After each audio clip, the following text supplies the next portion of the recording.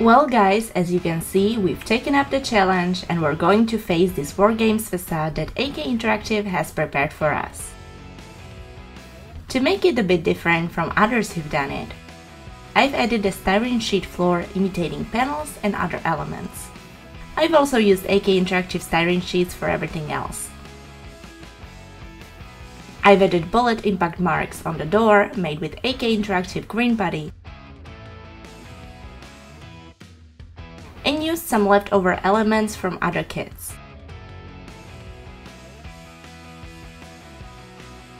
The first thing we'll do before starting the work is to remove the movable parts. We've divided the scene into two parts, the floor and the wall, with some kind of hinges to make the attachment easier and to avoid accidents later on. And we're going to start by applying a grey primer to the entire scene. We've placed our scenery on a sort of a holder to paint it better and we're starting to apply our primer. We'll do this with the airbrush. As I mentioned, it's a universal grey primer, which will help us set the subsequent layers of paint and unify all the materials we've added.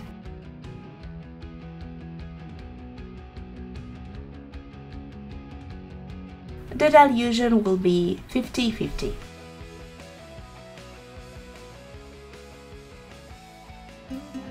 Well, as you can see, after priming, we have the same color and the same starting point for both parts. This way, all the elements we paint from now on will have the same tone. And using the black primer, we're going to apply pre-shading to the piece. This will help emphasize the depth between the panels and create a sense of relief.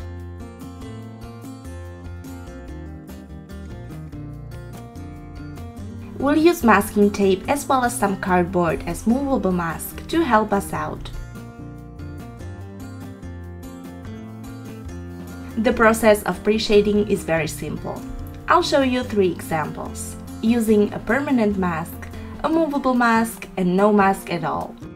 This is the area that is attached to the wall, which we can pre-shade without any worry or risk.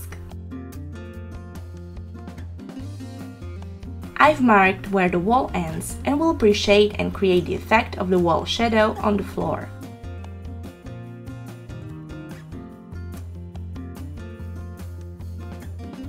As you can see, we don't have to be overly careful.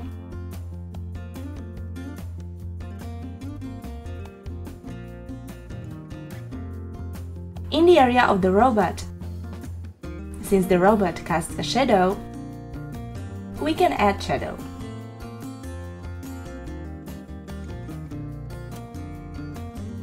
In the area of the permanent mask. To mark that panel, we use tape as a barrier.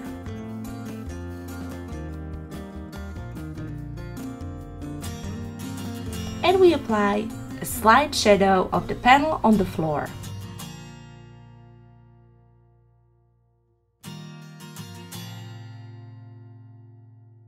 And in the case of the movable masks, what we don't want is to stain this panel.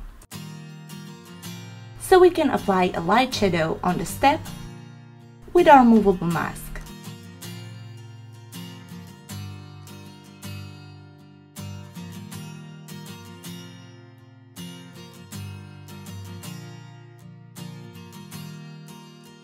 As you can see, we've done a very simple, quick pre-shading to save time and now we're going to start applying a greenish color. We'll begin with reflective green.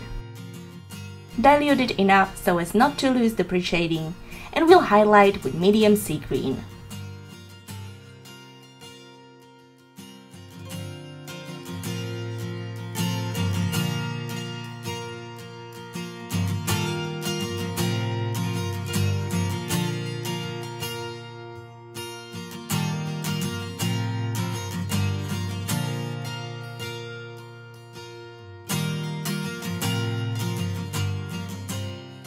As you can see, by combining the pre-shading with panel lighting, we achieve a very striking effect.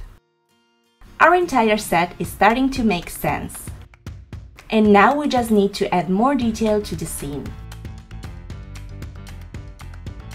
To do this, we'll use this tool, which is a stencil, to apply a pattern to all the metallic panels, adding more information and enriching the overall look.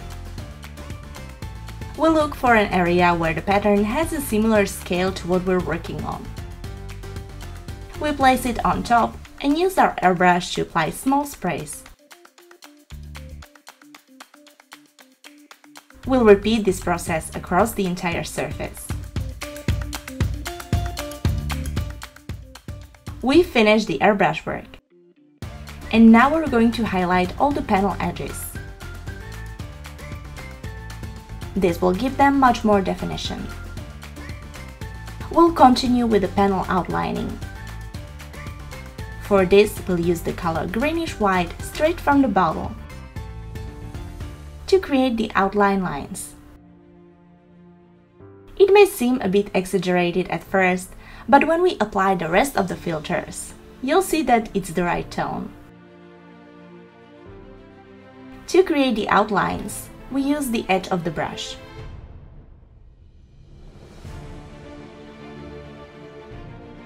And we can carefully start outlining.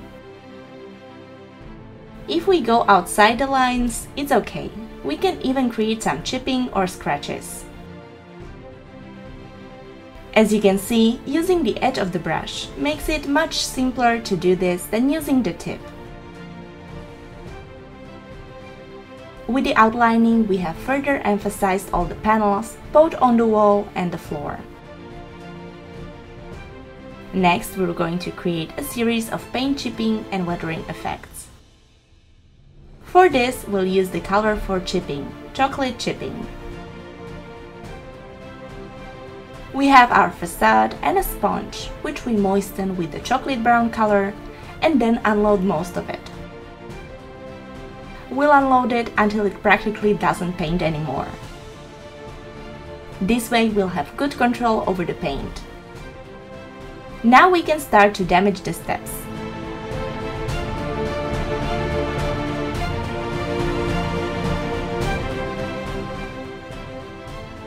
Here you can see how gradually our facade has become very worn and damaged due to the passage of time.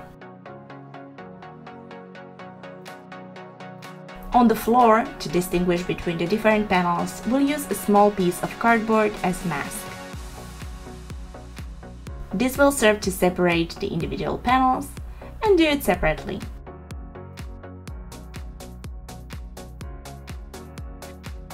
It gives a more realistic feeling to have them on separate panels rather than continuing across them. And we'll continue the same way with the rest of the panels. We'll use dark wash to add even more depth to the floor panels. To do this, the first thing we'll do is set and varnish the entire surface. This will help the product slide more and allow it to seep into all the crevices using capillary action.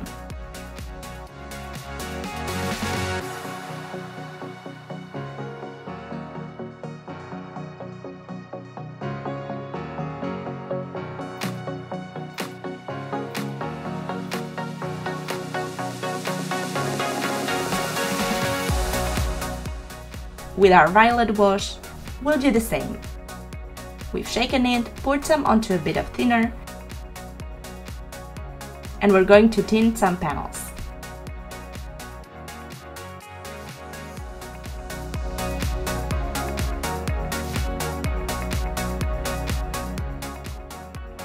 If we go outside the lines, we can use some thinner, we'll drain and remove it.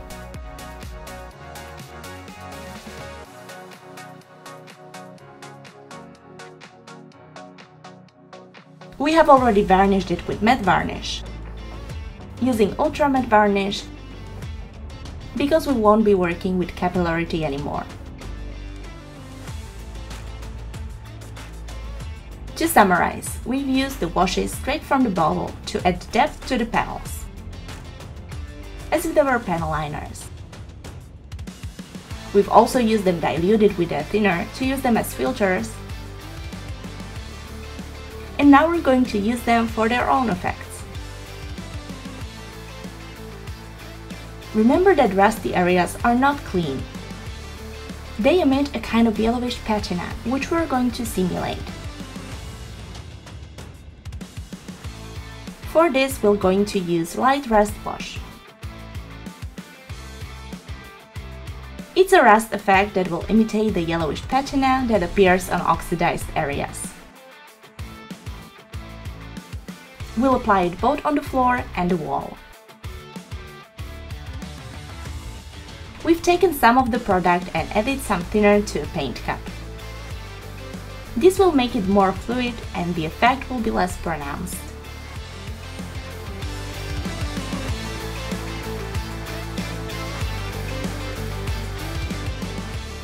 As you can see, the effects are very subtle. You can see the yellowish stains typical for rusted areas.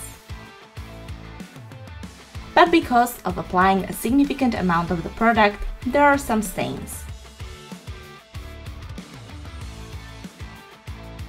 To remove them, we'll use a more or less flat brush and blend them with the help of thinner.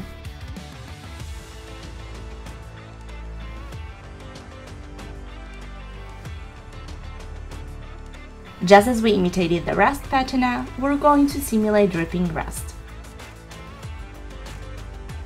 For this, we'll use dark rust wash.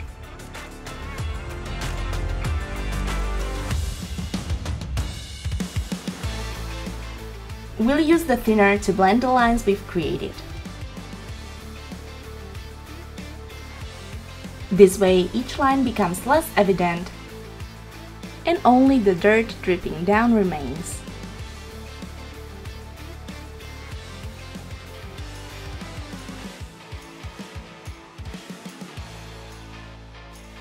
Here you can see the result of the entire weathering process we applied with the washes. Now we're going to simulate the fluids belonging to the robot. You can see them on the base and we'll do this by using the still water product for creating puddles and the orange liquid pigment floor.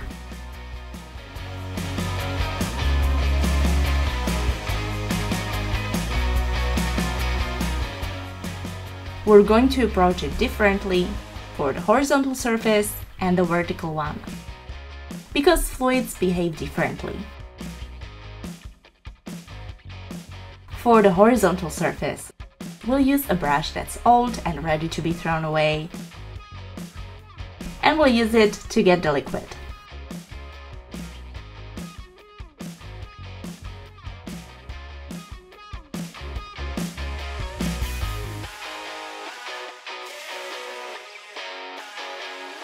It will create a raised effect.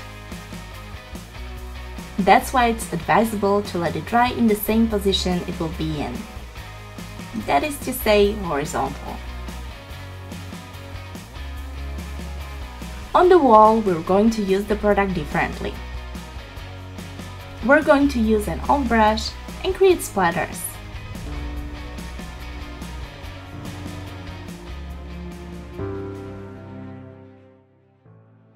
Now we have dried blood on the floor and the splatters on the wall.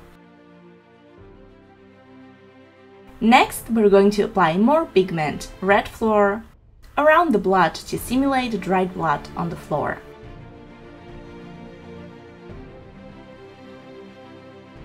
Pigments are very easy to use.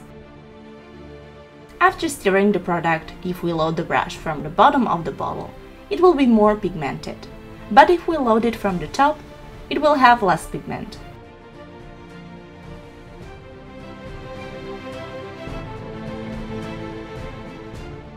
To integrate the pigment and remove what we don't want, we wet the brush in the specific thinner for pigments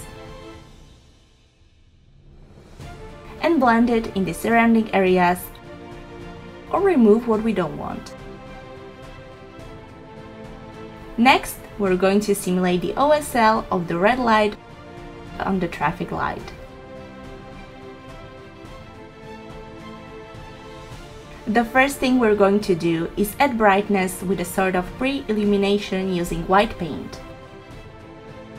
We need to be very careful.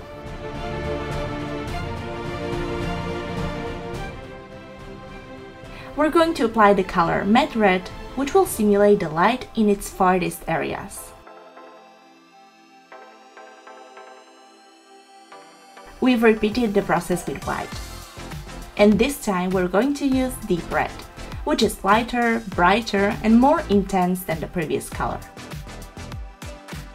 Gradually, with the brush, we're going to outline the edges.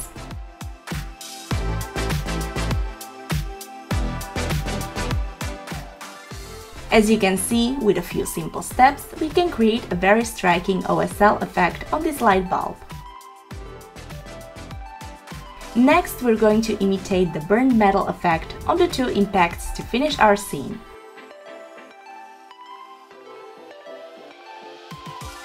We'll start with a layer of black red on the impacts to simulate the distant lighting.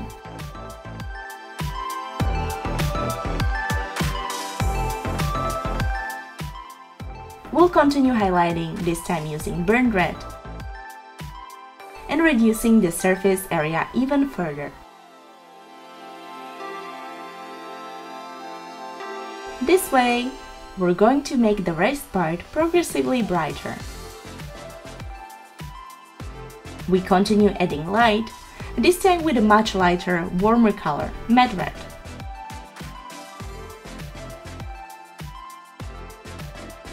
We'll enhance the raised areas of our impact by painting them white in these spots.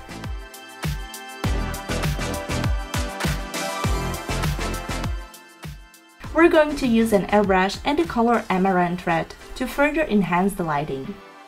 This color contains more yellow and it is a brighter red color. Just as we did before with white to enhance the edges, we're going to paint them yellow.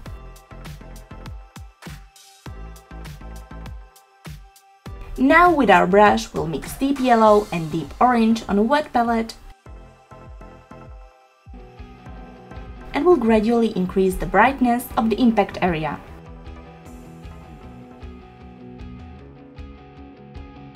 Another simple OSL effect that is very effective.